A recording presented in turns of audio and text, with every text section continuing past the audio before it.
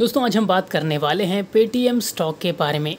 तो शुरू करते हैं आज के 15 मिनट चार्ट की अगर मैं बात करता हूँ, यहाँ पर डाउनफॉल हमें देखने को मिला।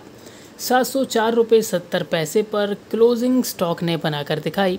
वहीं थ्री आवर चार्ट की अगर मैं बात करता हूँ, यहाँ पर धीरे धीरे जो तेज़ी है, वो स्टॉक में जारी है।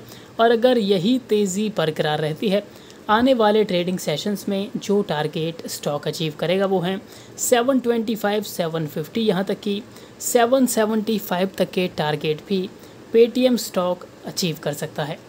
तो अगर आपके पोर्टफोलियो में पेटीएम स्टॉक पहले से ही शामिल है कंटिन्यू होल्ड करें। इन लेवल्स पर अगर आप फ्रेश बाइंग करना चाहते हैं दोस्तों बाइंग का मौका भी स्टॉक यहाँ पर बना रहा है। तो बिल्कुल ऐड करके चल सकते हैं पेटीएम स्टॉक में।